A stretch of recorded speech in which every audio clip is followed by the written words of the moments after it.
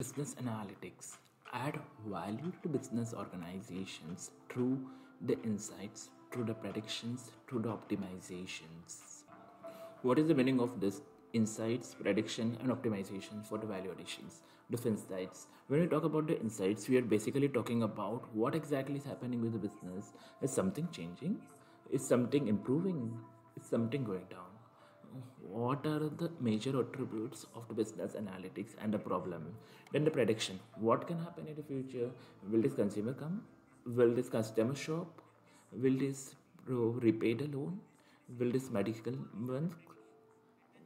then that is the predictions. And optimization is are trying to put the things into the business actions insights into the actions. We need to optimize them as an example when we're trying to see that this company will, will come and shop during the sales period we will be trying to put into the actions. This should be customers should be targeted should be communicated. We are communicating them. The ultimate objective is to powerful enough should be simple enough should be understandable so we try to components of the communications to reach the business consumers so that the information is passed and there is no complexity in between. As an example in between when we're trying to communicating between the customers via the sms and we're trying to put the offer the link. And the users click that off link and yes we can getting these offers but if there is a broken link the consumers will not be able to even after the clicking and get not get the informations about them. So that will be leading to the drop of the customer because of that broken link and he's not getting the information. So this should be optimized and the final consumers will get the informations what he can see and what we want him to see. All this should be clean analyzed and optimized using the analytical techniques when we are solving about a business analytical problem we need to develop about the business understandings and and, and what the teams takes into the pictures it is all about addressing about what problems we are trying to and what efficiency it can bring. And it is little bit about the different critical thinking. Critical thinking is about mm, when we're solving the things with respect to the business if there are critical component or not. But the analytical thinking is mostly relating to the data. What exactly is the data and how you can leverage that into the data so within that into the case studies mm, business problems and ultimately lead to the right decisions making. Mm, to to see the basic concept on differences of critical thinking and analytical thinking is that there are two concepts. If people need to see that if people are critical thinking analytically then they are thinking about the critical thinking. And if mm, vice versa but there are basic gaps between the analytical thinking and the critical thinking. To summarize the difference between the two uh, analytical mindset. Analytical thinking as the organized way of thoughts. As an example data will come this way. Data will be leveraged out. Data will be cleaned this way. Data will be consolidated this way and ultimately use the information can be used this way in the informations and you can use this way in communicating the results whereas in the critical thinking it is open minded there is no sequence. This can happen that can happen or this can happen. All these things can scattered in the scattered informations. In the analytical thinking we try to stitch them together in the in interpretation of informations uh, information is useful for understanding the certain events and explaining the patterns and the trends in the analytical thinking. We try to arrange in the thinking in such a way that uh, what can happen in such a way mm, and what how can happen and what can happen and when can happen. But the critical thinking nothing is being critical and nothing is being considered applicable and accurate you are not having with the critical evidences people will be thinking about the critical thinking are the major consumers. But we are thinking in analytical thinking. You are thinking that 25 to 30 percentage to 35 percentage of the use to contribute this way to 30 percentage of the sale it gives you a weight it gives you a measure. That doesn't happen in the critical thinkings.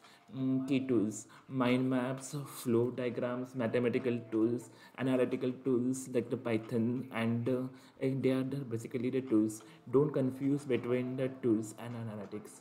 Python is not an analytics. Python is the tool that helps you to leverage you the ultimate data and help in solving the business data case studies. All these are tools mm, like uh, find out uh, business problems. Whereas in the critical thinking you try to solve the problems using the brainstorming thinking. As an example you are trying to example understand what can consumer which will buy which will shop during the sales period. When we are trying to go and the details into the concept will already will start with the critical thinking. In the critical thinking you will try to identify which are the areas which we should analyze to understand whether the consumers will buy or not buy. If the consumer is coming in the three times then he is coming to the once year.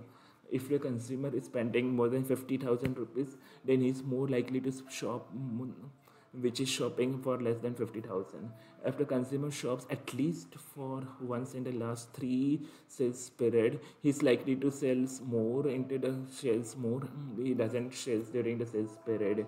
If the customer um, using the discount coupons into every transactions um, getting the data into the more sales um, then the consumers who is not using the coupons so these are the critical thinking components. We are trying to stitching them together and arranging them in such a way variables that leads to analytical problem solving. These are the variables and uh, will be taken out data will be taken analytical thinking will be applied prediction will be algorithm will be applied and you will be using this data um, for shops and then the other consumers. So that is the consumer that is the things. Once we are trying to understand the critical thinking then how we can develop such things. When we are developing analytical thinking through the solving the business problems we need to understand how data can be leveraged out out and we can thinking ourselves do we need to ourselves do we need to others? understand more do we need to think beyond the capacity. Mm, so it is basically all about the facts findings of the data. It is reading about the correct scenarios correct scenarios correct trends and understands the biasness and putting all these things in a structured form. Mm, when we're thinking about all these forms we need to identify and understand um, an analytical thinking development. It's a component no, that we need to analytical component with ourselves. We need to identify in such a way that we are in a structured way. Mm, problem is there we need to solve them. There we need to understand the business understandings and business mm, understandings and this can happen in a number of events. We will need to arrange them. This can data collection this is the data cleaning prediction algorithms mm, algorithm into the business trends mm, all these trends in the structured manner and ultimately leads to the solutions of the business problems. And uh, these things how the things shall happen in the future. When we talk about the business analytics it is not a single attribute or the single thing. Mm, business analytics is a component of various things where every step is important. Every step leads to the solutions to the other problems output of one problem leads to the input of the other problems and vice versa. And it is arranged in a sequential way. If one thing is go wrong everything will go wrong. So it starts with the data. Everything starts with the data. Similarly business data will be starting about the business data. What, how we will be collecting the data? And you will be collecting the data and aggregating it. And aggregating it. When we about the people who will be finding out during the sales period we are need to understand what are the brainstorming the things how, whether it will be creating the bias and non-bias. So we will be collecting all these variables. Mm, this is the age group where most of the people buy during the sales period. The person who is either 45 age of age or between the 25 to 35 age of the are more likely to buy during the sales period. These are the first variables that we have. Mm, people who have high frequency throughout the year then they are more likely to buy during the sales period. This is the second variables who have. Mm, the person is spending more than 50000 rupees every year is the more likely to consumer. This is what the variables we have. So this will be collecting all these variables and aggregating them in a single data sets a single data all these components attributes of the consumers so that this will be utilized in a single database where all this information is available and that final data sets will be further utilized for analyzations. So data aggregation is the first part. Identity aggregation i have done collected the data and this is the first component of the outcomes. Then this outcome will go to the second part. Once the which will go to the data mining data mining i will de- dealing the data i will torturing the data to speak the truth. Who will happen how exactly it will happen who will show up with us? Um, in this mining status. We will find out the patterns we will be finding out the trends. Mm, we will be finding out the things that can happen under various scenarios. As an example a person who spends around 25 to 100 to 3500 in one single transaction has 2 percentage of chances of buying more than the person who has less transactions business value. So all these components business value will be find out during the mining during the analytical thinking during the analytical thinking to find out the weight of the business components and by which it will be impacting on the final outcome. So all these things will be happening in the mining status and then we'll be finding out the sequentials about if the consumer is spending this 2500 this well then he comes then he can come into the 3500 rupees. And if he has developed a value of uh, 50000 in a single year or if he spends the 50000 in a single year and uh, he comes into two months and mm, he after every third transactions he is doing the bigger transactions. So all these are the sequential transactions so all if you are trying to identify this happens you know, data is collected data is mined data is um, identified as sequences that the consumer is behaving this way then you will be optimizing it optimizing it using the data output of the steps we did. Into the, do the optimizations we need the 100 transactions 100 customers divided by the size. So average um, decide value concerns the 10 consumer out of the 10 100 consumers. So 10 um, the top decisions will be any cost and then the few consider will be little push and um, the lower will be not going to show up with us even if we do anything. So these are the people like to do the shop. So we try to communicate these risks to the business stakeholders. We will divide the, the whole scenarios and they say that um, these are the 10 types of customers. Divided by the whole consumer base into the 10 groups. The 10 the top group is that more likely to shop and the bottom is that which is less likely to frequent to shop and even in the push there I will not come or they need the extreme push or the very big office or the very big um, office then only they can shop if we are having that budget then they can push it out. If they have budget constraint let's look for the top people all these things are the components of the business analytics.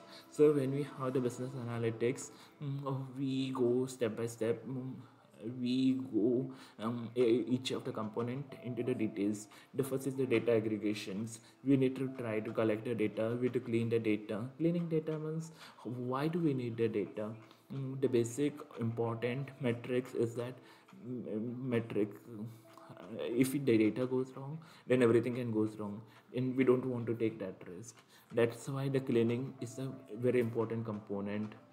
Mm, I suppose mm, most of my 80 consumers spends that 50,000 to 1 lakh rupees to mm, and most of the consumers can buy between the 50,000 to 1 lakh and let's suppose there are 1 to 2 percentage of the consumers who is spending less than 5 lakh to 10 lakh rupees in the single transactions. If we see try to see the whole data mm, this few 1 percentage of the consumers will shift a pattern will shift the average value. Now if average value will be the normal higher than the normal value.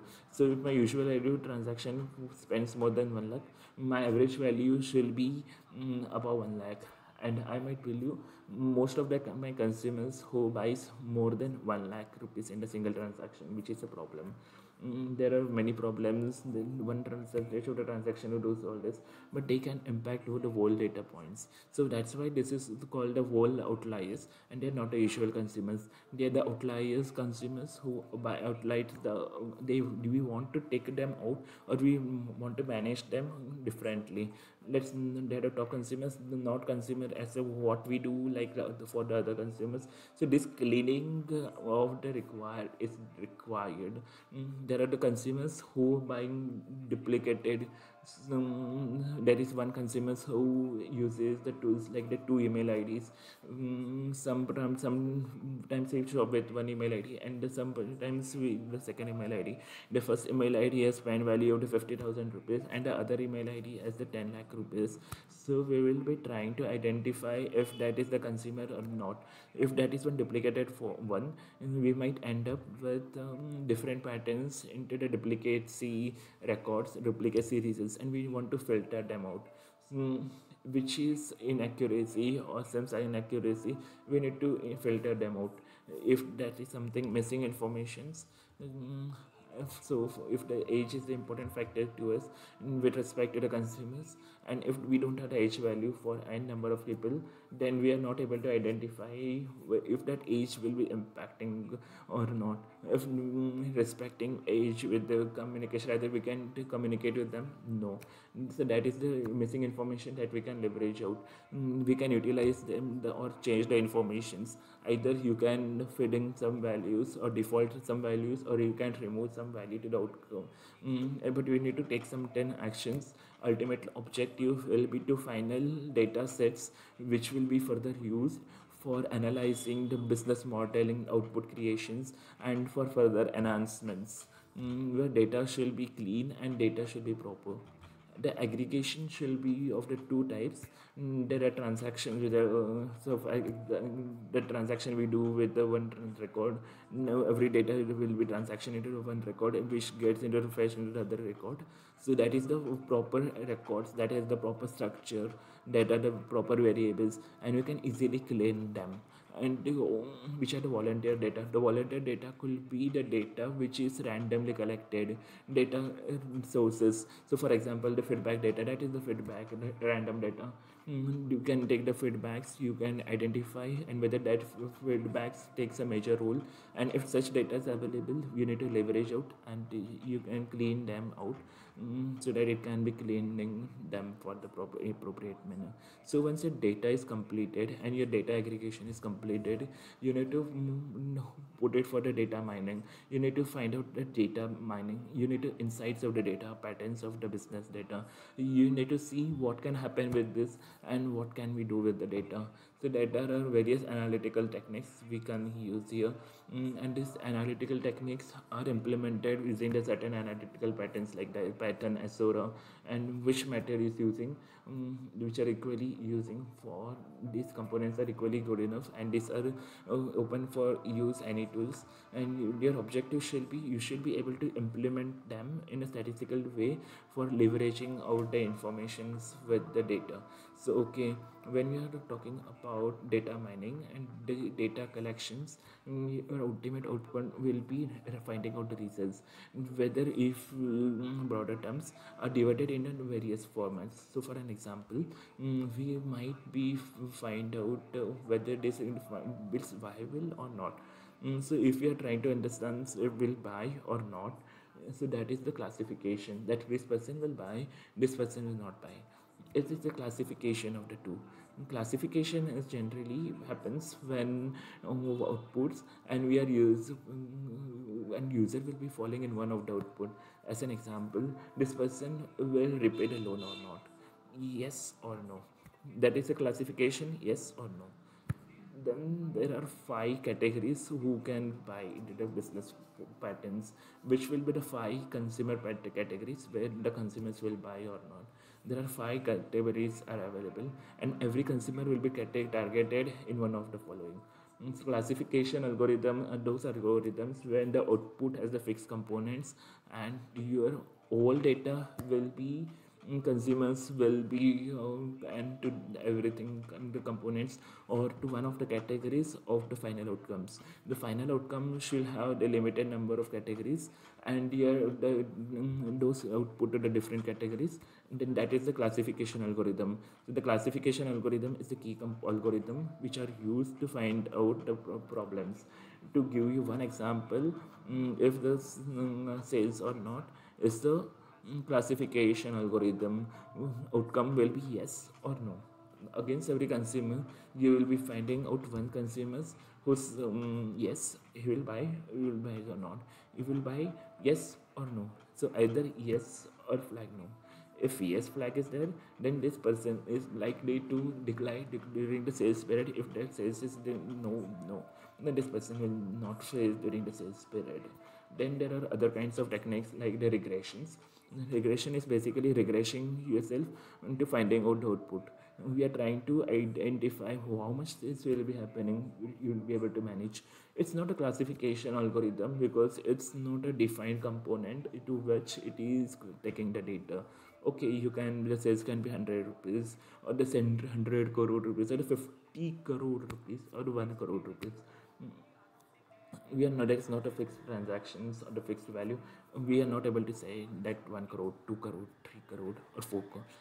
These are not fixed numbers there are numbers who are not able to define in few categories. So the outcome will be considered to be the regression categories. So this kind of regression algorithms are known as the regressions. And these are very very important concept because this also helps you identify those values which are not able to define into the categories. Mm, so as an example if i'm this the, this month this much amount next month how much will be. So if i get into sales value to get the sales um, value will i make. The, this sales value will be in the continuous form of data. The continuous form of data means mm, if we don't have the fixed categories the output can be any number okay? So we can be able to using that data we will be able to find out the value. It can be 100 crore 50 crore 6 crores or mm, 1 crore. It can be anything using these um, values we will be able to find out the values and out, um, outcomes and you can be able to predict and which can be anything and that output will be considered as a regression output. So in a classification mm, my final output can be in the form of the categories. It will be falling in one of the categories which are predefined maybe yes or no. And regression my final outcomes will be continuous number. It can be anything any number and any number and the third of the third type of categories that is used in business analytics is the clustering. As an example mm, this if we don't have the final output or we are not sure about the final outcomes how we'll be using them? There are different kinds of algorithms use them and these algorithms are known as clusterings. To use a simple example Mm, let's suppose uh, I belong to the telecommunication company, and in that telecommunication company, there are several sets of consumers who uh, uses these kinds of plans. I will be the consumer who will be the calling people, and so I will be using the minutes um, there will be some people of people who are completely dependent on the data. So they don't care what kind of talk time they don't care what kind of sms but they are using only for the data.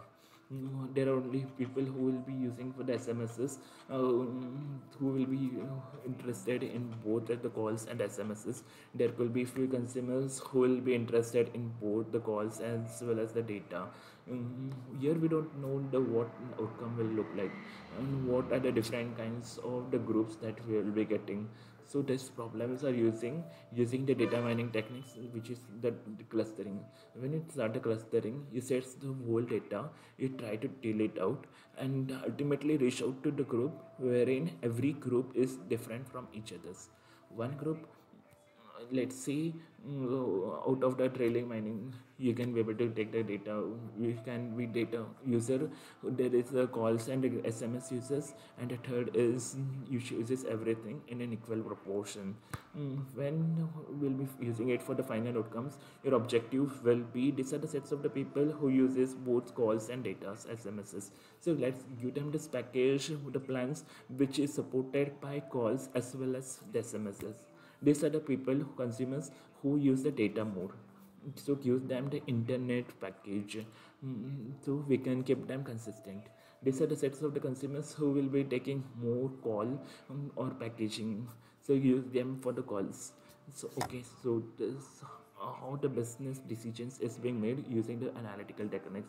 The clusters was used on the data mm, to find out the business patterns how many no matter how many groups but um, groups when we decided that becomes the classification. When the groups are not being decided you don't know the outcomes that becomes the clustering algorithm. When your final outcome comes and your whole divided data into the groups mm, you can collect the cluster for each of the groups. So these are the components of the business analytics then there are the other components which uh, sequence identification. You need to identify the sequence what exactly is happening and you can associate with the things. There are several variation takes like the mm, few of them are associations. Associations when you talk about there are techniques like the market basket analytics similar techniques which are used when you are using the association techniques like the market basket analytics you will be able to understand what are the patterns are able to understand how these patterns go together.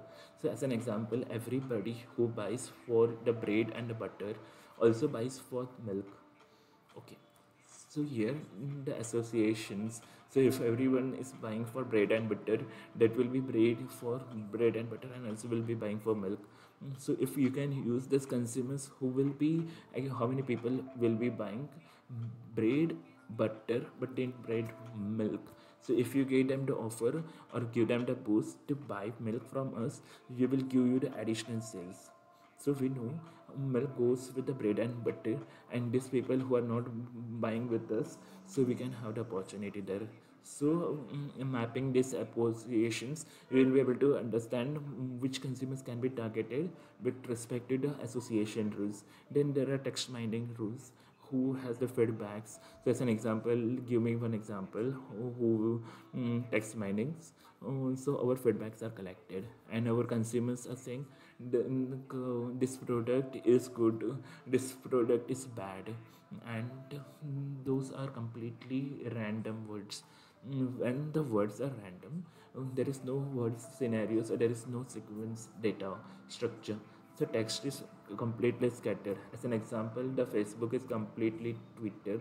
Or the twitter tweets there is no proper words there is no synchronizations people can write anything. So if you find out the data patterns you need to understand the text. You need to find out the text you need to clean the text you need to clean arrange and you need to see which words are used in the one word or another when you're trying to somebody good uh, the good thing of the product or the bad thing of the product you will be mining the data and then ultimately converting it into classification algorithm where the feedback of the product can be good or bad. Text mining is the one of the business analytics mining which are usually readily available these days. And there are various components are available where you can be finding out the feedbacks from them. Mm, who can use the text mining techniques to clean the data and then ultimately find out outcome. Then there are forecasting techniques. Forecasting techniques actually tells you about what can happen in the future.